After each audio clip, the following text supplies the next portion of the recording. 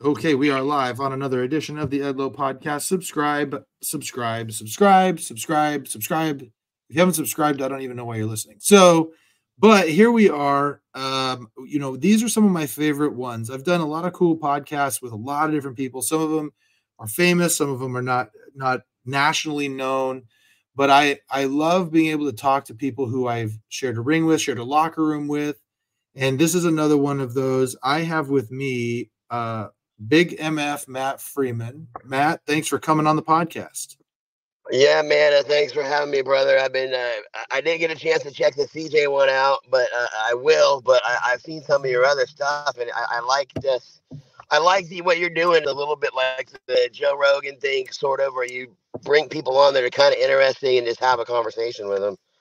Yeah, man. And I think, you know, the whole purpose of this podcast is really, you know, one of the cool things I've shared this b- before my podcast is that I don't really fit in anybody's box. You know, I'm Mormon, but I love pro wrestling. You know, I I'm kind of conservative, but I'm also kind of progressive in some of my views. And so I have all of these because of wrestling and because of like music and because of being a, you know, kind of playing basketball in high school and then being an attorney and then being Mormon. I have like wow, all these groups of friends. Yeah. And I got all these groups of friends that like they don't interact, right? They're just kind of all compared. Yeah, yeah.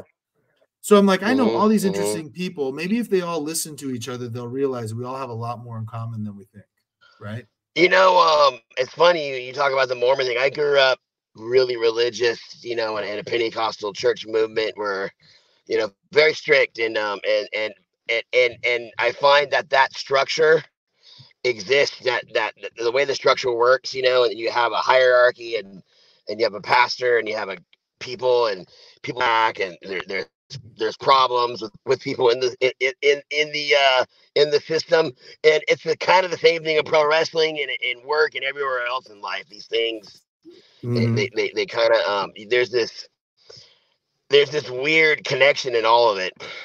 Yeah. Well you know what's interesting about you and why i wanted to have you on the podcast is i i, I told you off air i go i know i've seen you around and we, we've we've shared hellos but we've never really had a conversation but your reputation kind of precedes you a little bit in that you you you march to the beat of your own drum right? Um that's true sometimes to my benefit sometimes to my detriment but i definitely i definitely do things my way. I'm, I'm unorthodox pretty much in a lot of things i've done martial arts you know jiu-jitsu boxing um uh, uh, pro wrestling i'm a little bit I'm I'm an unorthodox person in a lot of ways.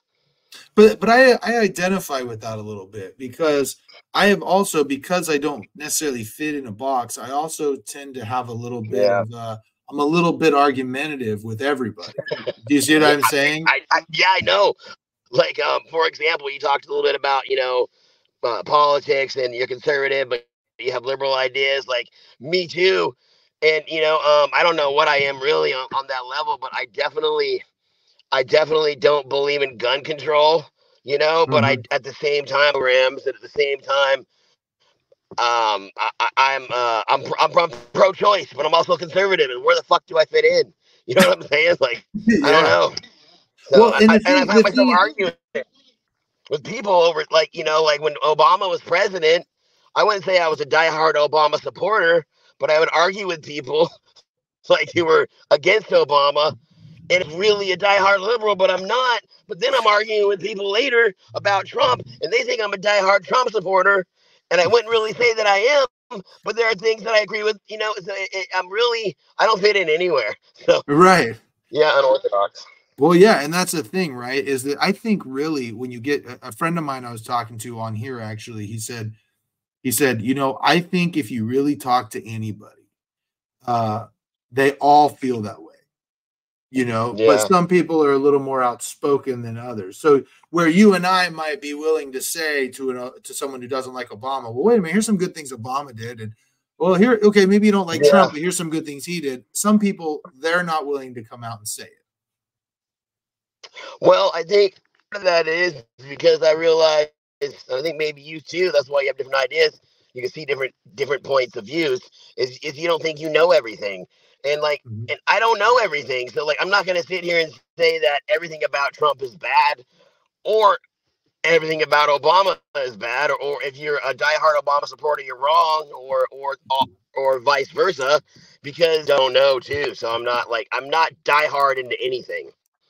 Right, right. Well, where? So tell me, where did that come from? Tell me where you come from. Are you born and raised in your area, or where did you start? Oh uh, yeah, Stockton, you know, California, the rough side of town. Um, you know, it's a rough town. The you know the you said I had my reputation will stop the reputation of this city. City earned its reputation in a lot of ways. Um, you know, I mean the typical Stockton story: broken home, welfare. You know, mm-hmm. um, eh, tough, kicked out of school, got into a lot of fights. Um, you know all that shit. Um, it, it my family was uh very religious. You know, a Pentecostal church. Um, charismatic. Um, you know, believed in faith and healings um, and at one time, the Big MF was almost going to be an evangelist. Um, at really? one time in his life, yeah, and, and that didn't, you know, I think, um, you know, um, I think uh, my brain and heart kind of wanted it, but my dick had other ideas. you know what I'm saying? and, um, like, you know, and, uh, it didn't work. You know, you can't be. Uh, there's certain things well, at least you know there's certain. In my opinion, if you're gonna walk that road, you got to walk the road or don't walk it at all. And I was like, right. nah, uh-huh. you know, and uh, but you know, so um, again, not that I don't still have my ideas about God or you know believe in God and all that, but it was religious, very religious family. Went to church. Church was very important to go to church. Our friends had to be in church, and um, it's funny because I think you know you got a church service, you have a beginning and you have a middle and you have an end, you have a finale. And in pro wrestling, you have a beginning, you have a middle, and the end you have a finale. And even like in songs, you know, in a song, you have almost the same thing. And, and one day I kind of realized that it's all the same. How even at work, when uh at work, I I, I one day I started doing better in life because I realized that I could talk to people, I could talk to crowds. As I grew up, having to talk in front of a congregation of people which kind of sucked, you know, when I was, you know, 11, 12, 13, 14, 15, a bunch of old, um, you know, a bunch of old, um, older religious Pentecostal people that knew the Bible well. And then I'd teach Bible lessons and they would question me in front of everybody. So mm. I got very comfortable talking in front of people and, mm. and not being afraid. So, so that kind of saved me, you know, it, it, later on in life, even though I'm uneducated, high school dropout, and all that shit but like I was able to get up in front of a group of people and talk and get people to listen and move people. But I realized it's all the same. If you get up and talk in the beginning, you're building two things and you're setting up moments. So like music, wrestling, church, um, it's all it all kind of relates to each other. Yeah, no, that's true. You know, you said some things in there that I find really interesting. So you mentioned you were Pentecostal, but you also mentioned your high school dropout. Tell me, tell me, yeah, how that how that happened. Like, uh, how how did that come well, about? You know, uh, a lot of uh, not all, but a lot of uh, church people have a lot of problems at the same time. You know what I'm saying? That's true. That's Very true. And um, so, you know, uh, for one, you know, um, uh, man, um, I didn't. I had learning disabilities. I was dyslexic, you know, mm. and um, that you know they put you in the they put you in the special class. You know what I'm saying? Right. So like, so then you, I, I didn't do well there, and then I would then I'd get in fights, and then I'd cut class, and you know I'd get into trouble, and and I, and and maybe I found my identity in, in being a trouble, you know, being the guy that would and and and get the get the whole class going insane, you know, like uh-huh. Oh man, bro, like I did crazy shit, bro. I was like, uh, I had. Don't get me. I don't want to make it sound like I had a bad family. I did have a good family in a lot of ways. You know, my mother loved me. My dad did his best. You know, they we we all. Life is hard, man, on all of us. You know, things growing up, you realize, fuck, man, it ain't easy. But uh, I went to a I went to a Christian school, right? A, a Baptist mm. school. It's called Northside Christian Academy.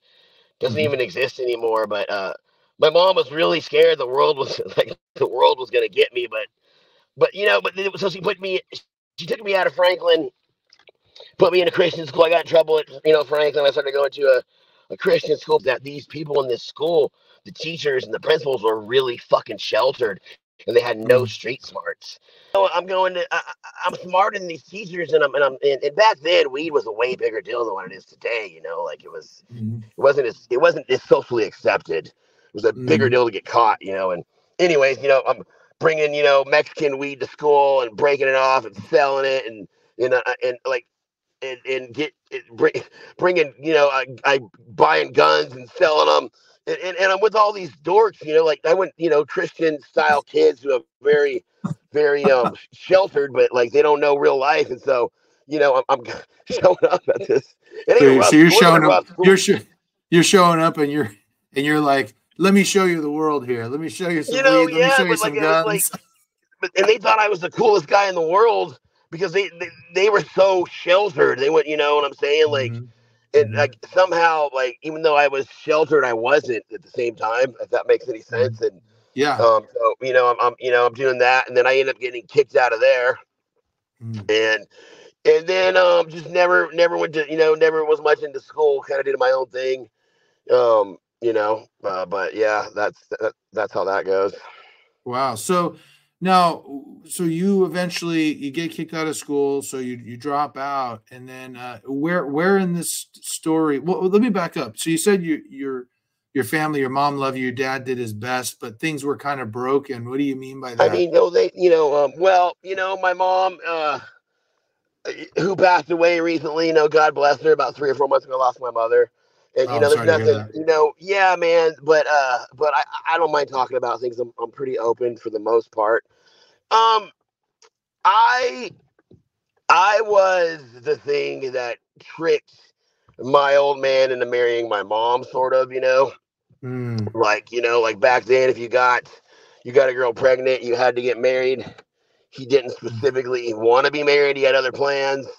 They met mm. in a church and then uh he kind of wanted to go and do music and be a musician and, and he had a lot and he had a he had, you know he had he had some moments where he almost made it you know but um but uh basically he he was trapped he, he was tricked into getting a uh, tricked in a way you know got mm-hmm. got a mm. girl pregnant and thought it thought it was safe to bust and it wasn't you know um and then here i am you know and um and uh so that you know there was resentment there and then just the music and then they eventually both were you know my mom was really talented. She's a good singer. They went from the church thing to the to the bands and, and, to, and kind of local tours and like um if you remember uh, uh, there was a movie you might not remember but it was called the little apple the little apple dumpling gang and don knotts was in it. Oh yeah. Uh, well okay so my dad was touring with a guy randy sparks that wrote that song.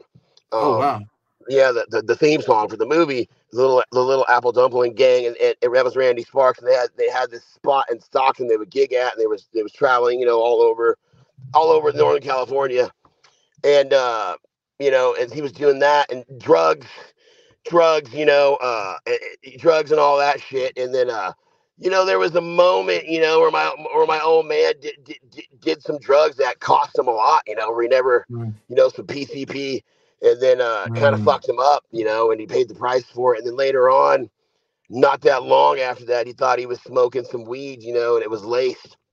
Mm. He got hit with that with it again, and it was a lot of it. So man, mm. my old man just fucking disappeared. You know, he just disappeared. Nobody could find him. He smoked. Oh, wow. He thought he was smoking uh, weed, and he was smoking weed laced with you know angel dust, KJ, and he just disappeared and went on a run, and no one could find him for weeks. And then uh, he thought that um, no wonder why I'm so fucking crazy. He thought that if he was naked, he was invisible. so he it was he was walking around Stockton with no clothes on, and it went into some stranger's house. The doors open, and he sat down and started watching TV. oh man! Wow. they, you know, then they see this guy wakes up, and there's this guy in his living room uh, completely naked watching TV. like, so they put a gun to his head. And then the guy realized that he really didn't mean any harm. He was just, you know, he was out of it. So then they, you know, they mm-hmm. called the police and then uh, they came in, you know, but they brought him, uh, you know, into mental health and all that shit. And then, and then, you know, the weird thing about that was they forced him into taking some pretty fucking heavy drugs. Mm. back then, and uh, and, and that really seemed to hurt him. It's a whole nother story, long story, but that really seemed to hurt him more than mm. than than the fucking uh you know than than the than the KJ. It seemed to hurt him a lot more. It fucked him up even worse. Mm. And if you really want to delve into conspiracy, at the time, um, you know, they were doing those fucking they were doing they, they if you believe this shit, they were running the, the CIA was running drugs, was running acid, was running things. They they, they gave it to the, the, the soldiers unknowingly and, and they mm-hmm. experimented with them. They were they were uh, putting drugs out on the street, seeing what happened to people, and and doing some MK Ultra type shit. Yeah. And it's you know, and that Vacaville was one of the places where they did this at. That's even history. It's true and one of you know and and and mental mental health has got a crazy if you look at the whole history of it i think they do some good things today you know i do but mm-hmm. i think mm-hmm. they haven't always and um, right. back then they were doing some weird shit so I've, I've always wondered you know what really happened back then because yeah. uh because stockton was one of the places that was was that was associated with vacaville mm. at that mm. time and it's like you know uh, you know it, it's kind of weird but um that's a whole other story. So that fucked him up, you know, and he never he never quite got right from that. And then you know you have alcohol and all the other shit, and you know, man, yeah. How, how old when the, when that whole incident happened? How old were you? Um, three or four. Oh wow! Do you remember it happening? Yeah, and he would come in at like you know, um, yeah, um, yeah, I do. But but like he was, but for the rest of his life, and, and, for the rest of his life, he would snap back into it. You know, something, mm. something could happen and trigger that, whatever the fuck that is. Wow. Um, and then he would go into that, you know, where I know when it's happening. But yeah, for sure, for the rest of his life, he was fucked from that. You know, wow. he wow. okay. Then he would get, then he would, then he would get snapped. He go do okay, and he would get snapped, and self medicated with alcohol, shit like that. So it's, wow. it's really it's, it's it's was a crazy ride, you know. Um, yeah. But he was a great, you know, he was a, a, pretty damn good musician. He had a couple of other, almost went to Nashville, you know, almost. You what, know, did, what did he play? He played everything actually, everything. But but but he specialized in the piano back then. Um, oh. But he played everything. So yeah. yeah. Did did he uh he did he try to get you into music at all, or did you play? I love if you see me at karaoke, I'm Elvis. I, I, didn't have my brother is a very talented musician. It just never it never came my way. But mm. um no. Yeah. Well, now you when did you start uh, in your you know in your life? You you mentioned you did kickboxing, boxing, like yeah, jujitsu. I know you had a you had a jujitsu podcast that's done very well. Yeah, inside BJJ, I'm kind of doing that again. We we did like about 500 episodes. Mm. There were there were times, man, we were hot. You know, we were uh, top 10 sports podcast on iTunes. There were times that on their, you know, on on their breakdown of the top ten, we were up there with, you know, Chael Sonnen, with uh, you know, with uh, you know, all kinds of people uh, that were right. that were bigger names, and um, you know, um, uh, we did we did really well. Yeah, well, when when did fight sports become a part of your life? You know, I was always fascinated with my whole life. I was fascinated with pro wrestling, with fighting, with Bruce Lee, Chuck Norris, karate movies, fucking mm-hmm. um um you know pro wrestling. And I think the thing with pro wrestling was uh well back then you couldn't just do nobody could do pro wrestling back. They didn't have all these wrestling schools. They didn't have the internet. It was real a lot harder to do. And I always thought you had to be really big and all that other shit. So I went into to, to fighting. But um um I think when I when I when I stopped kind of when I really really stopped doing the church thing for for good, I wouldn't say for good, but you know I still have a spiritual side to me. But when I stopped, you know, when that stopped being my passion, and when I stopped, when I realized I didn't want to be in a you know like like an evangelist type guy, um, I was watching uh some guy. I was working at Office Depot, and this guy brought in a VHS. Mm. It was the ultimate fight. It was the ultimate uh fighter, ultimate fighting oh. back then. And the first yeah. time I had seen it, and I was like, "What the fuck is this?" What the mm-hmm. fuck is this? And I said, oh my God, I love this. And um, I had a cousin, actually, his name, we call him Super Cuz. Um, mm. you, you know, and, and, he's a very interesting guy. He's a, he's, he, he was a Crip, you know, a legitimate Crip, but he was white, but he was actually, you know, he ran with the blacks and all that shit. And, um, and I, and I always, we, we were always, you know, doing shit. And I always, I always, truth be told, I always wanted to kick his ass all my life. He kicked my ass, you know. And and I always wanted to beat his ass, to be honest with you, like in the back of my head. So I was watching this shit, you know, and I love watching the UFC, like Royce Gracie and the begin the first ones and the no time limits and bare knuckles yeah. and all this shit. And then I see that, you know, Ken Shamrock's, he has the place in Lodi. And yeah. then um and then I found out that one of my good friends, uh, Frank Gallardo, another interesting guy who's uh, has a very very interesting person with law enforcement and and all the shit that's happened between him and the different sheriffs in Stockton, and he's done a, mm-hmm. done a lot of crazy shit. Um, but um, you know, he was go- he was working for that boys' home, the Bob Shamrock boys' home, and he was going to the Lions Den. And he was one of the guys that I knew that was a martial artist. And once in a while, whenever I'd see him, we would like fuck around. He would throw kicks at me and shit. And uh, and, and so I knew he was going there. And I asked him about it, and, and then like I was like, "This is crazy, man! They have a this, you know, this they have Ken Shamrock and you know, Oleg Taktarov and all these people training right in Lodi. And I guess at first I kind of went as just a fan. I'm, I love this. I love watching this. And I could go here and train.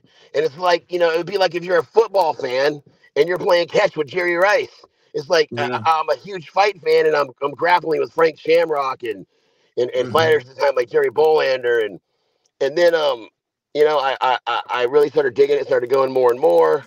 And then, uh, uh, I was about, you know, uh, life was just crazy, and I ended up having a daughter who uh, who had cancer.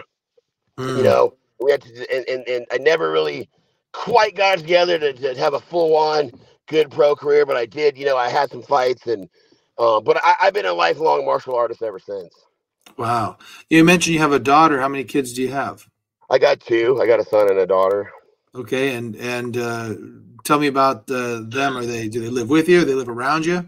Um, you know, me and their mom. I'm not. It might surprise you. I'm not to know this, but I'm not an easy person to live with. You know, like so. Uh, you know, my, my I think I, am always I'm always chasing something. You know, and um, I think my I think uh, you know, uh, the the God bless her. You know, we're good friends now, but uh, she got tired of the of the chase and, and me not being around and going after this or going after that and this is going to be the thing you know finally gonna mm-hmm. finally gonna get rich you know this is gonna be the thing and uh-huh. all the other a lot of other shit happened too and so we ended up getting divorced but um so my daughter lives with her mom she's 19 my son lives you know my son goes back and forth he's 11 um mm. we you know we managed to put a lot of the past uh, aside and raise our kids and um you know she's a great woman and i have the utmost respect for Hmm. Ah, I see. So, do you your now where in this uh, process does pro wrestling come in? You said you're always yeah, a fan. So I always wanted to do pro wrestling. Like, okay, so let me say that. Let me back up a little bit.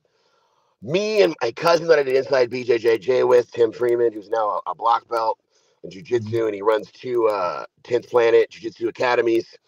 Um, a shot out there to those guys. If you're in, if you're in Stockton, they have a great uh, 6 a.m. assassins class. If you, uh, you you know at six o'clock in the morning it's a good time to do it because you get your get your jiu-jitsu in you know before your day begins and if, if you don't do nothing else you got your training in but um so we you know like i said we were strict you know our parents were strict and we, we weren't allowed to do a lot you know a lot of things like other kids but uh we were what we did have was wrestling like we mm. couldn't go to parties, we couldn't go to to hang out with kids that didn't go to our church. We had fucking wrestling, and and and, mm. and you know, like my old man was fucked, and my parents got divorced, and and I don't mean that bad. I love my old man to death. He's helped me out in so many ways. There's so many there's so many good things about him, but um.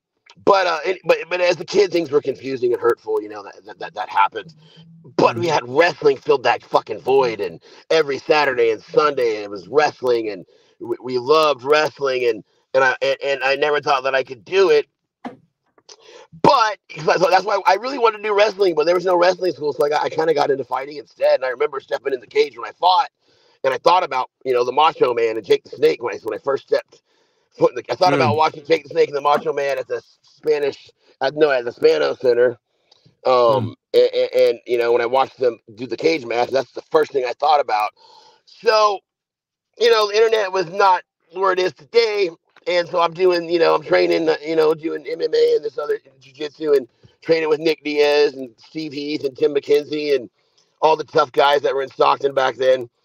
And um and then so I'm married and, and then one day I you know I'm like, you know, um I, I I give up fighting and I do the job and I get a house and we have our son. He's like one or two at the time, and and you know, and then and then my uh my girl, my wife at the time was like was remembering a lot of shit I did in the past, you know, and and and and and, and just feeling like you know, uh, not I can't let a lot of this shit go, and so she wanted a divorce.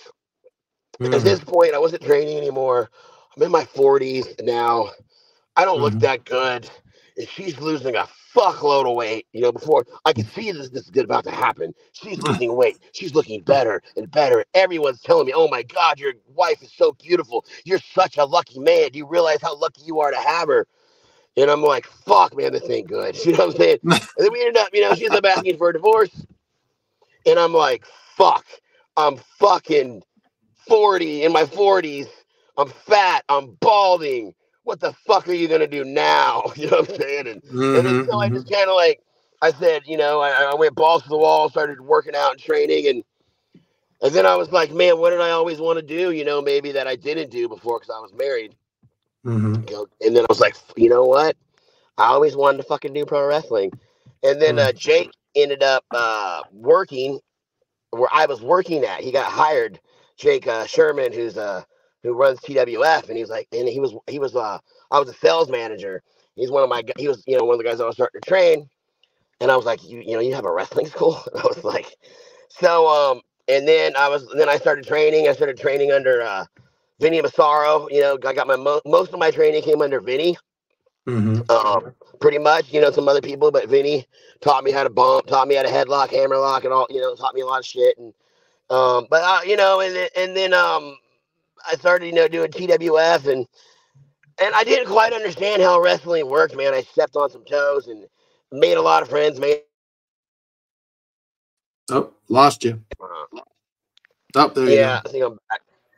Made a lot of okay. friends, made a lot of enemies along the way, but that that's kind of how, you know, how I started. Wow. So tell me now, uh training under Vinny Massaro. So uh what was that like? You know, it was it was um actually I think the first guy I ever trained that was named Shane Lockhart, and I think he's really, really, really, really, really a really underrated, talented uh, wrestler. Um, he was the TWF champ, and he comes from he comes from Minnesota.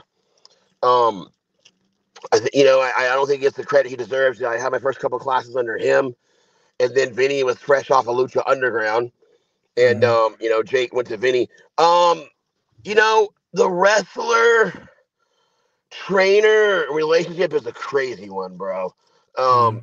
and, and, there was times I loved Vinny. There's times and there's times when I didn't like and I didn't love Vinny. You know, like but at the mm. end of the mm-hmm. day, I love Vinny. At the end of the day, I love I love Vinny. When it's all said and done, you peel when you peel all the layers away and the smoke clears.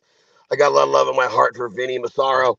Um, but you know, but then there's a lot of things that pissed me off that he did too. And he comes from uh, you know, he comes from a different era, a different time, and and and, and his his training and, and his trainers, you know, were were, were motherfuckers, kind of in a lot of mm-hmm. ways, truth be told. Mm-hmm. And he would kind of give me that motherfucker a little bit, you know, sometimes. And and it, and so there were times when I would get mad and, and not talk to him for quite some time. And but then I always go back and become friends again. So he was a he, Vinny knows more wrestling than what most people forgot.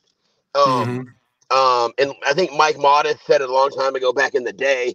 If Vinny had the body, he'd have been WWE for sure. Mm-hmm. Um, things have changed now, and he's in Japan, and he's doing great, and I'm happy for him. But um, you know, Vinny is a great, he's a really good teacher, man. Like he knows the, he'll teach you what you need to know, and the rest is up to you after that.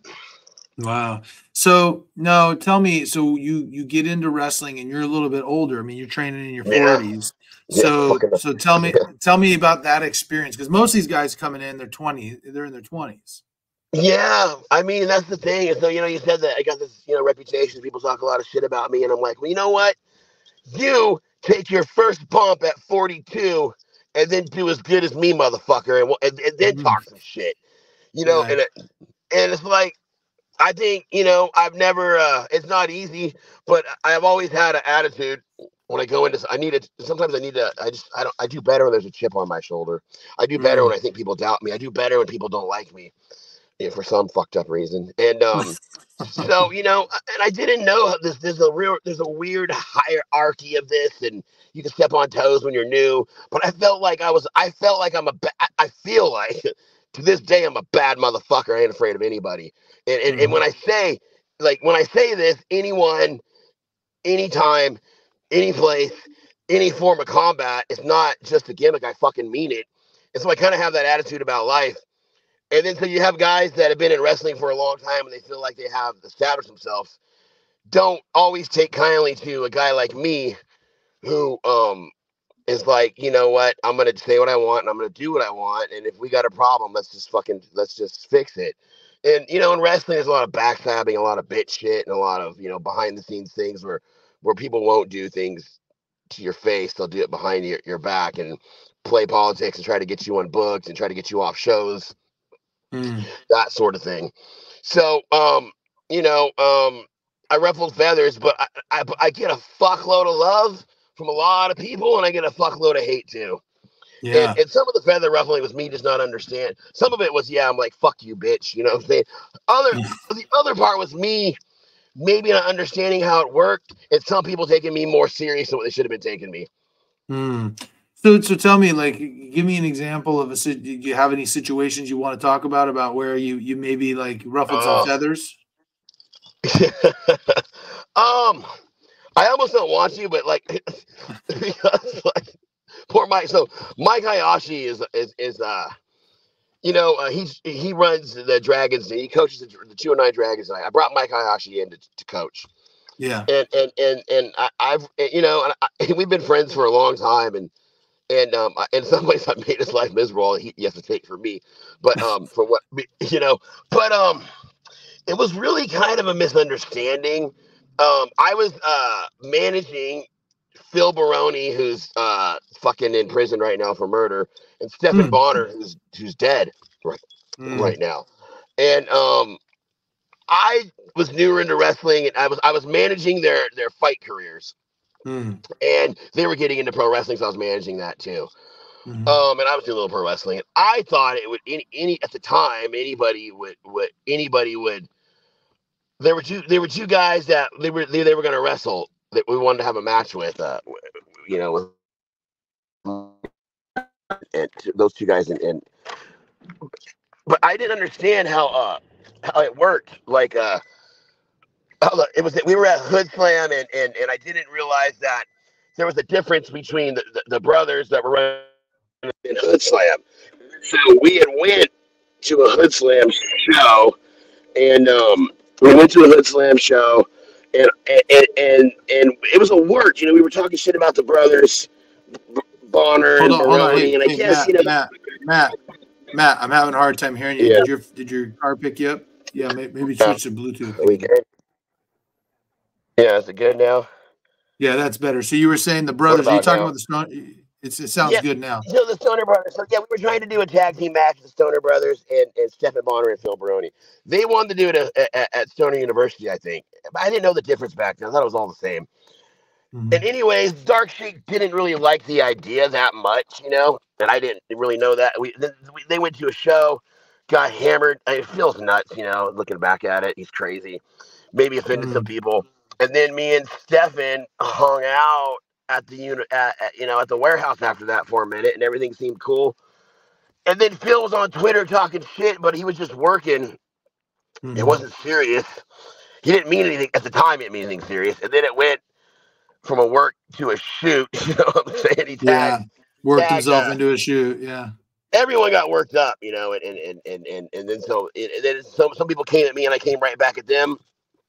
Um, but like you know, I wasn't really. I don't. I don't know. I just think it's it's kind of the. It's really the past, and I don't really give too many fucks about any of it. You know, at this point, um, mm-hmm. the brothers are really good. You know what they do. They're very entertaining. They're very, very, very, very fucking entertaining wrestlers. Um, you know, and at this point, if I if I have, you know, maybe I could have handled that a little better if I had understood, you know, a little more how wrestling worked. And, and, and sometimes I'm emotional and I say things that I wish I wouldn't have said and and, mm. and maybe that's one of those moments where I could have just walked away instead of escalating it. Yeah. Well, you keep saying you're like, well, you know, I didn't understand how wrestling works. And what do you mean by that? There's like when you're new, they don't want to hear your ideas. Mm. When you mm. just you when you just got into it, they don't want to hear about what you want to do or what you think is cool or what you know about wrestling. Mm. Um, however, by the time I got into it, like I had done pro fighting and I had done a podcast that got over a million downloads. I had done ring announcing. I had signed contracts. Like I'd done a lot in my life at that point, so I didn't feel like I was just some idiot. And I'd been a wrestling fan my entire life. Um, so I didn't feel like I and I, I felt like you know, and I didn't even you know, I think you know, uh, I, I think I got a good brain for entertaining people, and and and so. But anyways, you know, there's a way to get something booked, and and you could easily offend people and step on toes and not realize mm-hmm. it when you're new. Yeah.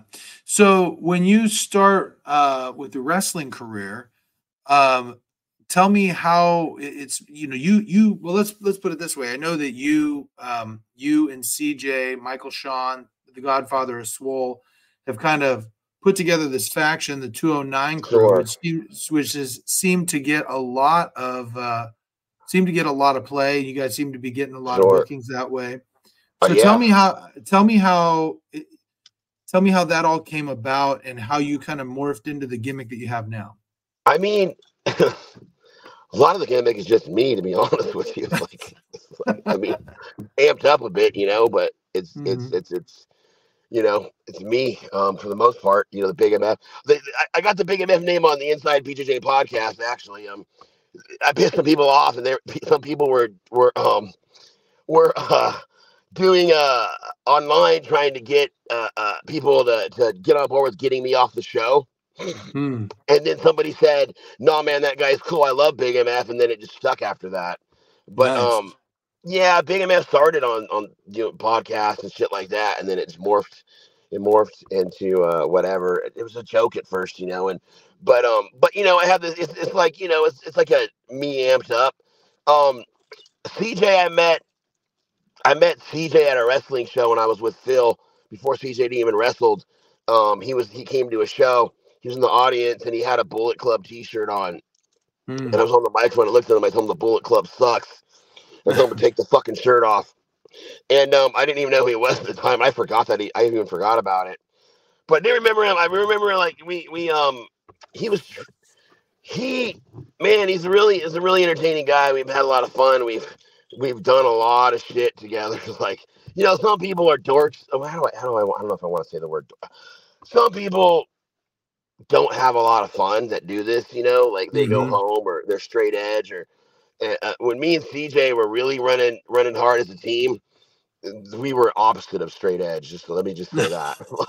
like, like um, uh, we've done a lot. We've had a lot of fun, and we've had a lot of moments. You know, we and if we were around in the '80s, you know what I'm saying, we would have fit in really good. it, you know, the, the, the, we we lived the life. You know, we had a lot of fucking fun. Mm-hmm. Where are you normally? Like, what are your big promotions that you work for? Uh, you know, GWF, and I think that's gotten bigger and bigger. They've been around for 20 years, and a lot of people in the business used to shit on them, but like, because wrestling is weird. But we're selling out all the time. We're drawing, we're out drawing a lot of people. I'm getting paid really well. Um, TWF, Lucha Patron, uh, shout out to Corey Machado. You know, they're putting mm-hmm. on big events. They're, we're, we're selling, you know, you know, 800 tickets, you know, uh, uh, you know, 500, 400 tickets, 500 tickets, 1,000 tickets. Um, filling up, you know, the um the, the uh, nice arenas. Um, working with guys like Shawn Hernandez. Um, uh, shouts out to Shawn Hernandez, uh, uh, the Super Mex from uh, TNA. Uh, he's been all over the place, all over the world. One of the one of the, one of the guys that like that you know uh, people love me or hate me, and a lot of people don't like me. Some people don't, and they were trying to say I shouldn't be booked. And one of the guys that said, "Man, you're fucking doing the." One of the guys that was like, you know, you're doing the right thing was it made me realize I was doing the right thing with Shawn Hernandez. You know, he he mm-hmm. he helped me out a lot, put us over. He requested, you know, he literally wanted to work with me and CJ and and, and Michael Sean and do a, a gimmick with us, you know, and I really appreciate that. Um, but uh, Michael Sean I've known for a long time, and you know, we we we, we became really good friends over time, and and had each other's back, you know, and when when people if people had a problem with me, they had a problem with him, and, and, and vice versa. So um, mm you know, it's it's a, you know, it's just like one of those things where we're, you know, if he called me up in the middle of the night and he's like, "Hey, man, I gotta hide a body," I'm jumping in the car and and, and we're doing it. So um, you know, um, you know, and then I think that you know we we did a lot of shit with Next Level and Justin Caton and um we were all you know all friends and um uh, CWA with uh with uh Hast- Jason Hastings, and we've been uh you know doing um um uh Realm of Warriors. They're really I really like Realm of Warriors. They, they they've treated me really well. Um, you know, um, a lot of little lucha shows too. That you know, um, so it's, it's been good. You know, I've been busy. I've been uh, there was there was a particular guy that said uh, that that literally went and tried to get me unbooked all over the place, but Mm. like it, it really got me booked more. Hmm. Who who tried to get you unbooked and why? Um, man, it's a long story, brother. Oh yeah. yeah, fuck. Um, uh, you know, wrestling is, you know, eh, wrestling is strange, man. And and so, like I said, some people instead of being a man about it, they'll go behind your back and and and. But like I've Mhm. done a lot. I've done a lot of good things. People don't realize. Like I I I've, I've put. I put a lot of money into different indie wrestling companies that no one knows I did. I got I Mhm. got I got us booked into venues. I got guys paid. I got sponsors. Like I, I've done a lot of shit. I, I- put together wrestling camps. I put together. Tra- I got guys training. I got guys booked. Like I've done more than what people realize. Mm, hmm Well, so so tell me, what is it that that fuels you to invest? I mean, look, it's I've been in the wrestling, in and around the wrestling business since 1998. Okay, and so Wow! Holy looking shit! around, yeah, I mean, like, well, yeah, I my story is a little different. I I trained with you, you know Oliver John. I trained with him. in I I know Oliver John actually through Team Shamrock 2000 before he was uh, doing pro wrestling.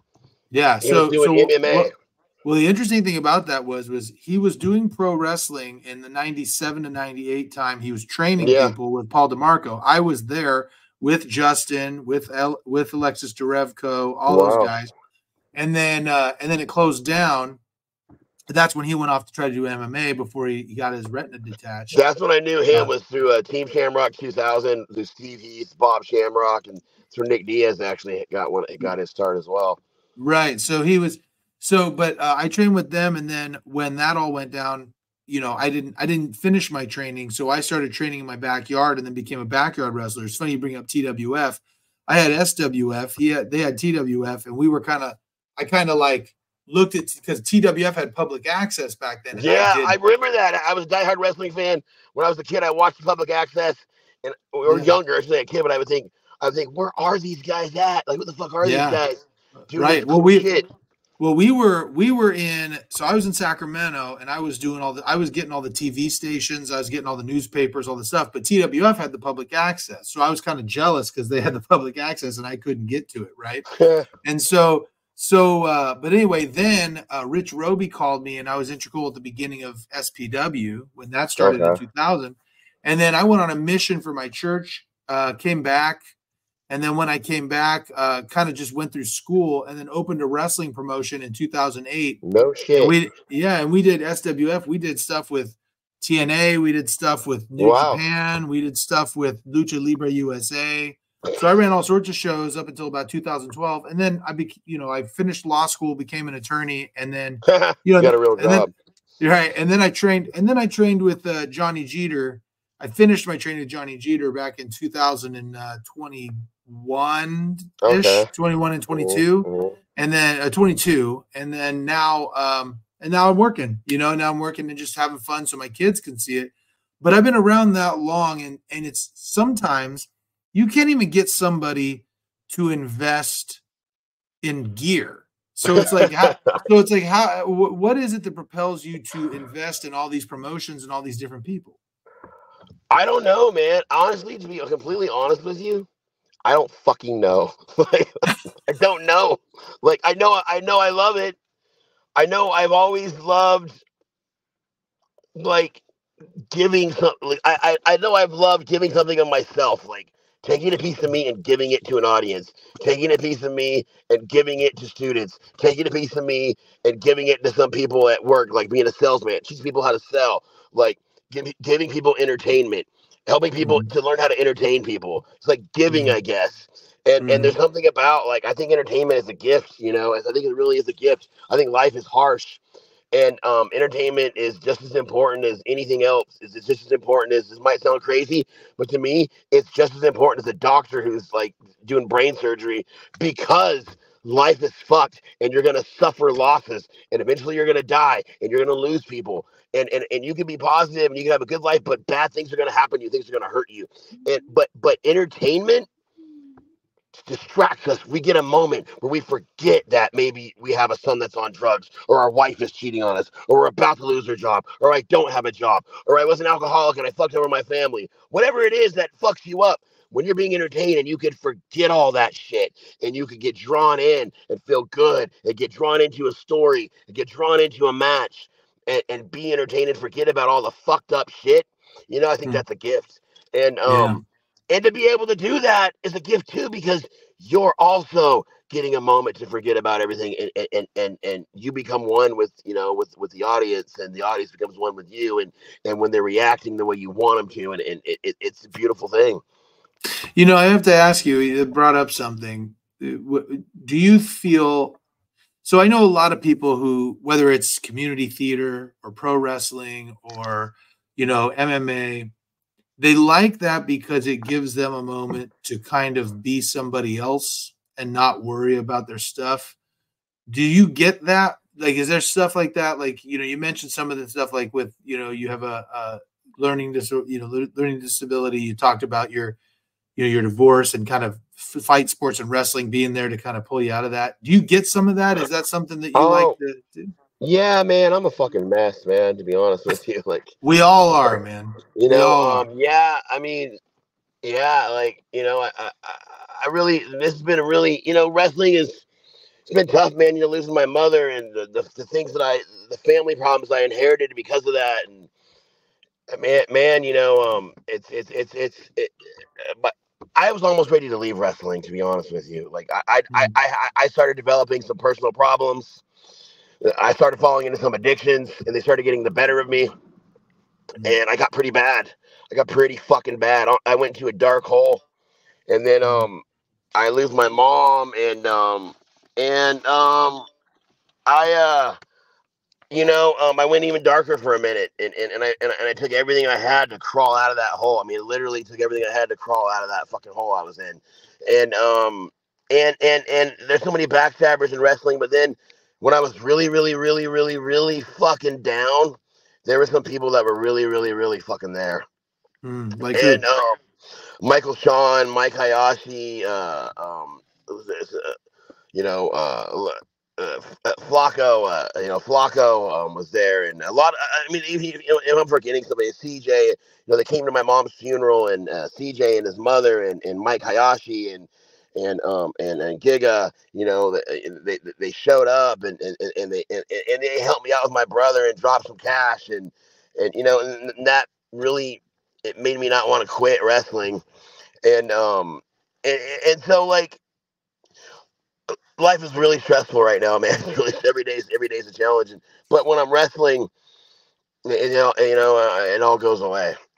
Yeah. Well you know i can tell you you know and you know this. I mean, you you and I are the same uh, ilk. I don't know exactly how old you are, but we're pretty close. I would imagine. I'm 49. Okay, well, I'm 40. I'm almost 43, so we're not that far uh-huh. off from each other. And the thing is, is what I've known in my life, in those times that are dark, those times that are rough, they could be weeks, months, even years. But it's peaks and valleys, man. The the sun will yeah. shine again, and uh, so yeah, I mean, have you noticed that in your life? I mean, it sounds like you've oh. had some oh. tragedy, but you've also had some great stuff. Yeah, man. These the tragedies, you know, they make you they make you stronger. Even even losing my mom in some ways, it's a wound that never heals, but you gain some strength and you grow up in a way that you never realized you'd ever grow up. You know, and um, yeah, um, I definitely yeah, peaks and I like man, I'm a I'm a Stockton kid that nobody ever fucking believed in, you know. So like, just me being where I'm at, you know, is a testament to something. But mm-hmm. um, and, and I don't say, know. When like, you say that, well, being what, why, let me stop you right there. When you say being where you're at, what what do you mean? Like, what successes I mean, you seen in your life? Like, you know, I went from being a nobody to learning how to make making some decent money. Not rich, mm-hmm. but doing better than anyone ever thought I would do. Getting a nice place, getting a wrestling school you know, um, you know, helping people out, um, doing a podcast that got over a million downloads. You know, getting in a ring and fighting, doing pro wrestling.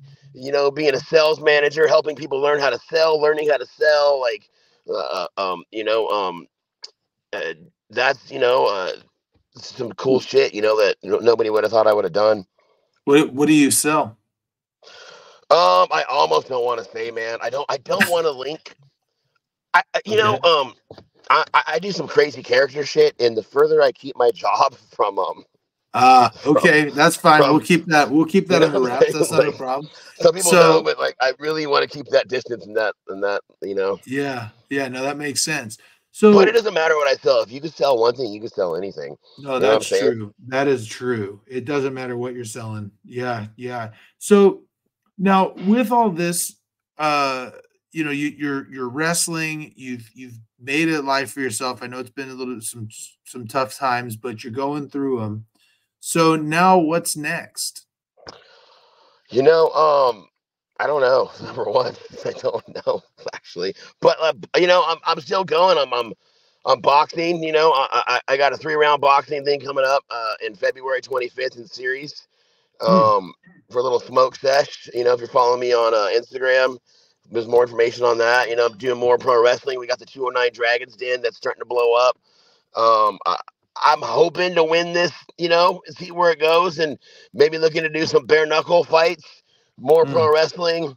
Um, you know, um, we'll see what happens. Mm, man, so you know, with the last uh, little while we have, I wanted to ask you. Uh, I ask everybody three questions. What would you say of all the things that you've done is would you consider your biggest success in life? um, success. That's a good. What you know, I never consider. I really don't consider myself success yet, but um, I guess you know, uh, being a father, I guess you know, you know, would mm. be number one. Like mm. not not totally fucking that up, you know, like right. um, being a father. But besides children, um, well, tell me more about that. Like, what do you tell me what your children mean to you?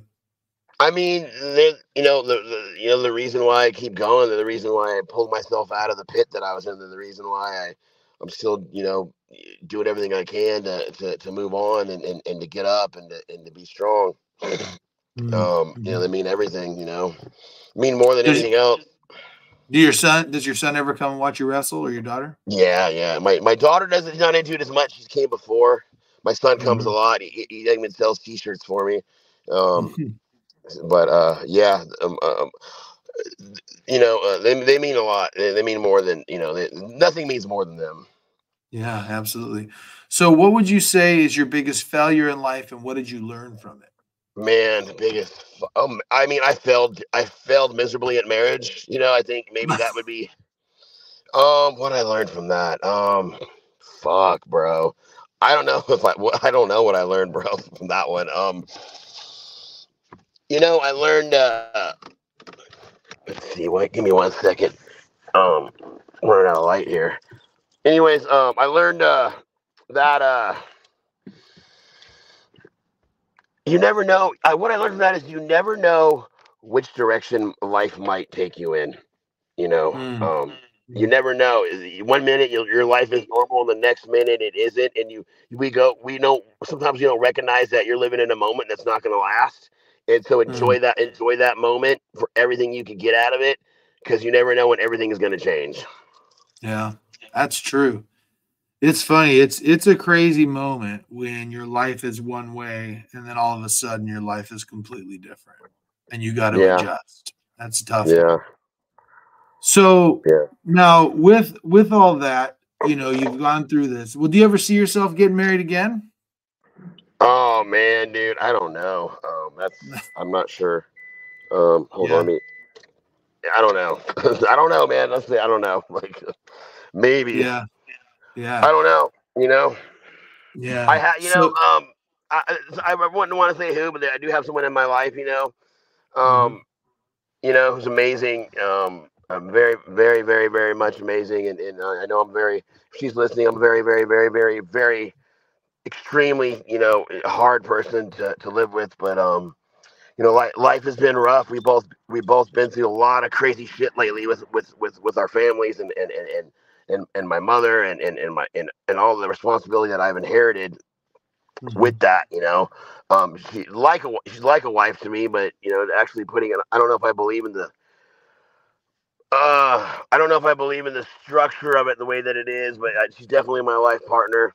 You know, she mm-hmm. stuck around, seen me at my worst, knows me at my worst. You know, and, and still still here. So you know, um, you know, something you asked me, you mentioned earlier. You talked about well, you don't, you, you stopped going to formal church, but you still believe in God. Do you still have a kind of a Christian, uh, Judeo-Christian? Yeah, faith? I mean, yeah, yeah, for sure. I don't. I just think this is this is uh, yeah. I believe. I, I believe in yeah God. I, for me, I believe in Jesus, but I, I I don't know if everybody has to. I don't know. I'm not going to say that. You know, maybe there are other ways. Mm. I don't know but I believe in um I believe in the Ten Commandments, you know. I believe in forgiveness. I believe I believe that uh we're all saved by grace, you know, and, and I, I believe God created the world and and and and at the end of the day, the, the only person that I have to fear is God. I'll, uh, like I, will fear no man, you know, and the only person I I I, I will person or thing or whatever the fuck you want to call him or it or whatever. That's that's what I bow my knee to. Wow. Okay. So, last question I ask everybody, and that is, um, you know, one day you're going to pass away, and when you do, there'll be a funeral, and uh, someone someone will give you a eulogy. What do you hope Holy. is the one thing that someone says in your eulogy? Live every live. You know, I, I you know, um, I, I I did it my way. I lived life the way I wanted to. Um, I got knocked down, but I got back up. You know, uh, I I never stayed down if as long as there's breath in me, I'm gonna fight. You know, I'm gonna get back up and fight until I can't fight anymore. Um, just a fucking tough kid from Stockton who wouldn't give up. Yeah. Well, I got to tell you, man, it, has been interesting. What I what I love about having a podcast like this is I get an opportunity to learn. Yeah uh, from everybody. There's so many different personalities in pro wrestling, and it's cool to hear your story and see where you came from and kind of understand. Wrestling means something different to everybody, and it's so interesting yeah. to hear your story and see what it meant to you. And uh, so, tell me, where can people find you? Um, first of all, I want to plug the 209 Kliqcast. You know, I'm doing now with with Michael Sean uh, at the uh, Smokers Lounge Studio.